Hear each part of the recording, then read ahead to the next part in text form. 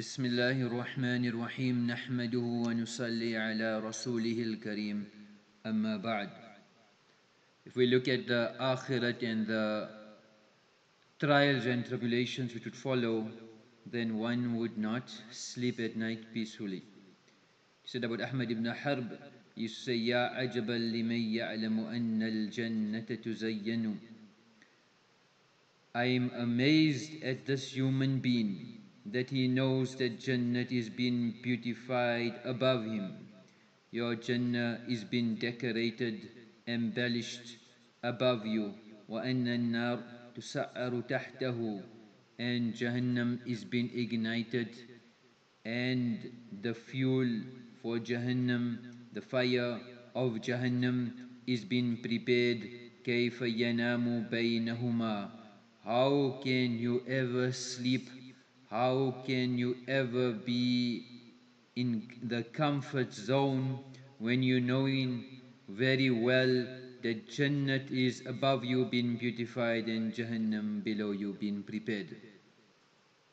So one needs to prepare for Akhirat, the movement, the walking, the talking of those people who have Akhirat in front of them are different. It is said about Sila bin Asham that his heels and his feet and his calves would become swollen due to the excessive standing in front of Allah in salat and uh, it has been written about him وبلغ من الاجتهاد ما لو قيل القيامة غدا ما وجد مزيدا if it was told to him that tomorrow is Qiyamah, tomorrow you will die, prepare for it, then he would not change any action in his life. His daily routine and his daily pattern would not change one bit.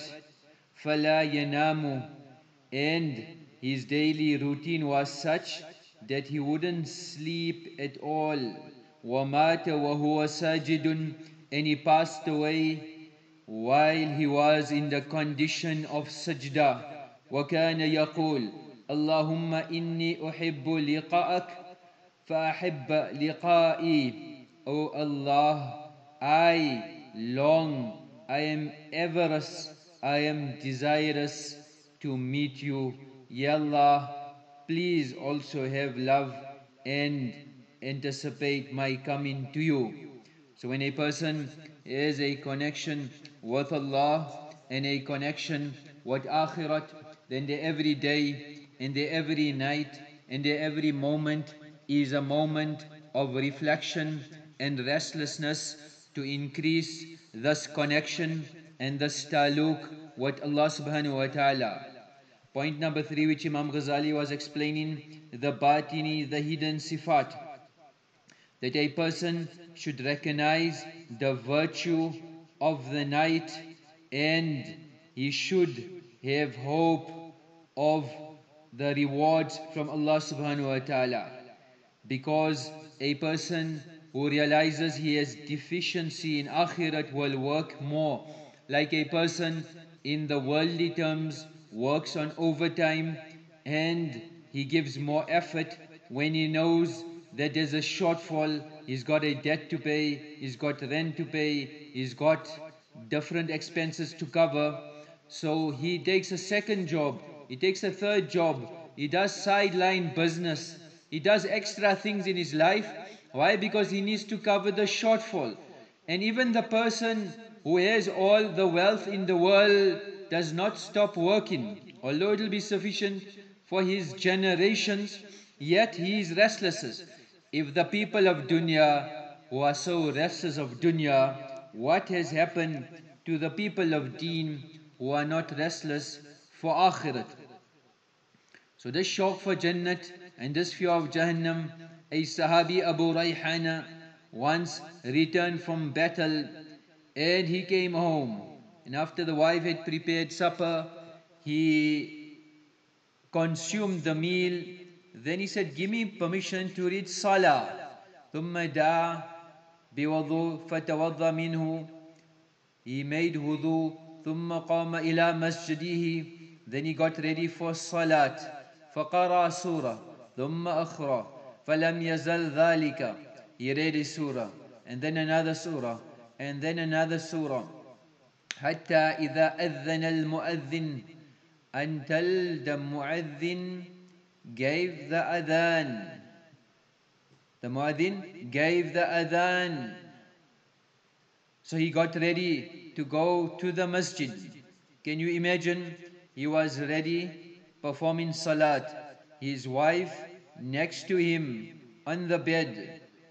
And a person who comes from a long journey, from a long distance, and we cannot imagine and perceive the hardships and the difficulties which Sahaba had undergone in their journeys in the path of Allah subhanahu wa ta'ala.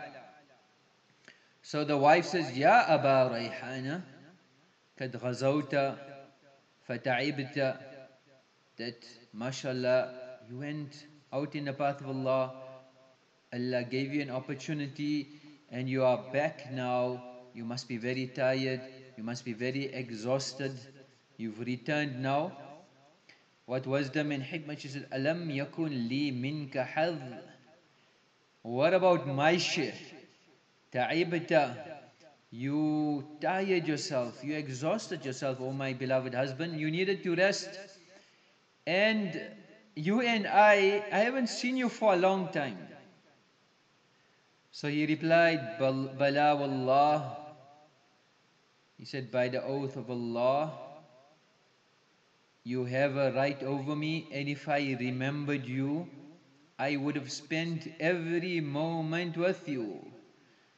So she says, فَمَا الَّذِي شَغَلَكَ يَا أَبَا رَيْحَانَ So what made you so engrossed? So he said, لَمْ يَزَلْ I continued reading the ayat of the Quran. It engrossed my heart. مَا وَصَفَ اللَّهُ فِي جَنَّتِهِ When Allah subhanahu wa ta'ala described the bounties and the pleasures of Jannah, I had complete amnesia. I had complete amnesia. I forgot about dunya. I even forgot about you. The wife that is returning and the husband has so much shauq to meet this wife, he forgets his wife. Imagine. Number four, a person should look at whom he is standing before and every word that he is saying, he is speaking to Allah and that he is secluded with Allah. And if a person thinks somebody has beauty, then we get enticed by their beauty. Likewise, if they've got good character, good habits, we are enticed by that. Or number three, somebody gives us gifts, then we are enticed by that. So likewise, Allah is the greatest. Allahu Akbar. Allahu Ajmal. Allah is the most beautiful creation on earth. Allah is the most exalted. Allah is the one being that has given us the most. So, if a person has this in front of him, then he will stand before Allah knowing that my Allah is in front of me. So the ulama explained that if a person is not seeing Allah and is not hearing Allah, then how can a person get this ecstasy? So the ulama have explained, Imam Ghazali has given an explanation that if your beloved is behind a curtain in a dark room, but you are speaking to them and you know that they are listening to you, then how will you speak? And what ecstasy and enjoyment would one get when he knows that person is behind the curtain? Likewise, we are speaking to Allah subhanahu wa ta'ala on a chat or WhatsApp, when you send a message and it shows the delivered sign, you send an email, you know the person received it, it didn't bounce. Everything that we are saying and we are speaking, Allah subhanahu wa ta'ala is more aware of that. So a person who knows the value of Allah will not miss out on the opportunity to speak to Allah subhanahu wa ta'ala at all. Actually, the night will be too short. So some mashayikh have said, فَإِنَّ اللَّيْلِ يَزُورُنِي قَائِمًا It's as if the night has come and when a visitor comes and you just greet them and they are standing, before you even tell them, come sit down, yansarifu qabla and ajlis. Before even you can sit down and start the discussion, they need to leave. Ali ibn Bakr used to say that منذ أربعين سنة ما أحزنني شيء سوى طلوع الفجر that for 40 years I was grieved about the coming of Fajr, meaning that when I am informed and I know that the night is over, that thing, that information, there's no worse news on earth worse than the coming of Fajr and the ending of the night. Fudail bin Ayaz used to say, إذا غربت الشمس فرحت بالظلام لخلوتي بربي When the sun sets, there's no more ecstasy and pleasure I can get with the darkness because it's only me and my Allah. It is only me and my Allah. وإذا طلعت الشمس حزنت لدخول الناس علي Then when the sun rises, I grieve and I have remorse that I was speaking to the Creator. Now I'll have to leave the company of the Creator and spend time with the creation. Abu Sulaiman ad-Darani used to say, أهل الليل في ليلهم The people of the night and in their nights ألذ من أهل اللهو في لهوهم they get more pleasure, they get more ecstasy, they get more enjoyment in their nights than the people of negligence get in their disobedience and their sinning. ولولا الليل ما أحب البقاء في الدنيا If it was not for the beauty and the enjoyment of the nights, I would have wished that death come to me I would have wished death come to me. لو عوض الله سبحانه وتعالى أهل الليل من ثواب أعمالهم If Allah had to replace the rewards of whatever good deeds we're doing with the pleasure and the joy, enjoyment of the night, then just standing before Allah and enjoying the company of Allah I would have rather preferred that than all the rewards Allah had promised for standing up in front, in the darkness of the night in front of Allah. The ulama used to say, ليس في الدنيا وقت يشبه نعيم أهل الجنة that if we are to look at all the bounties that Allah would give in Jannah, then there is no bounty more greater and close to the bounties of Jannah than the satisfaction and the gratification that people get fi kulubihim bil in their hearts in the darkness of the night min halawatil munajat when a person speaks to Allah laysat min ad-dunya innama hiya min al-jannati. That in this dunya the pleasure of speaking to Allah there can be no comparison in the world. It's as if you are in Jannah.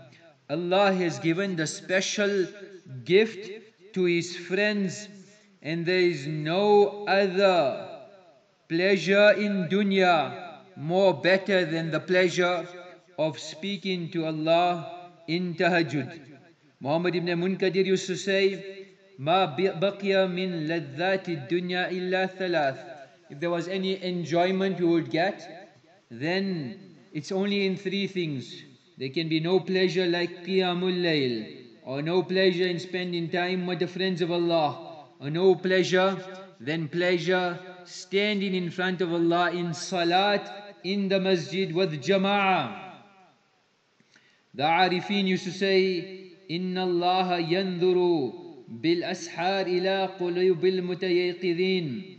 Allah subhanahu wa ta'ala looks at the hearts of those who are awake at the time of Tahajjud, فَيَمْلَأُهَا أَنْوَارًا And like a container that is empty and you need to fill water, the hearts of the friends of Allah, Allah fills it up with nur. Allah fills their hearts with nur. So this is a chance where we can draw from the nur of Allah and not draw from the ma'siyat and the disobedience of Allah. A person can pass the night in watching television, in spending their time in watching YouTube, in chatting, in going to different platforms, in different worlds, in different avenues of ma'siyat, and they can go centuries and billions of kilometers away from Allah, or it's an opportunity to tread the path to get close proximately to Allah. Some ulama have said that Inna li ibadan min ibadi. Allah says there are some servants that love me and I love them. They seek me and they look for me and I have ambition for them to meet me. They remember me and I remember them as if I am seeing them and they see me. If you tread their path, then you will come close to me. So it was asked, what are the signs of these people? They are the people who look at the time in the day to see how they can use their day properly and how at night they look at the time to see how they can khala kullu habibin bi habibihi every lover now secludes himself with his beloved. Nasabu li aqdamahum and they stand up in salat and they spend their nights in salat and they spend their nights in tahajjud. Crying to Allah subhanahu wa ta'ala seeking Allah. This was the nights of the ummah and these were the days of the ummah that they were on the musalla at night and on the horseback in the day seeing how the deen of Allah can come alive Malik bin Dinar used to say that إذا قام العبد يتهجد من الليل when a servant stands before Allah in the darkness of the night prostrating to Allah making tilawat of Quran then قرب منه الجبار Allah Jalla Jalaluhu comes close to him and the pleasure and the ecstasy and the anwarat which a person gets in thus close proximity is incomparable. It cannot be fathomed. And he's to Imam Ghazali says, Thus was the special secret of the Salihin and the friends of Allah subhanahu wa ta'ala. And it was on these moments where the mashayikh used to encourage their murids to spend their nights. Inna min al-layli sa'ah. There is a moment where when you make a dua, your dua is accepted. And these are nights, whether it is specific nights and Mubarak nights, or it is specific opportunities and chances where it is Ramadan, we should not lose these opportunities. The amal for today is to spend on the creation of Allah, to help the creation of Allah. Inna lillahi aqwaman. There is a special group of people where Allah showers wealth so that they can benefit mankind. As long as they spend on their wealth, Allah gives them more. But the day they stop spending, Allah snatches that wealth and gives it to somebody else. وآخر دعوانا الحمد لله رب العالمين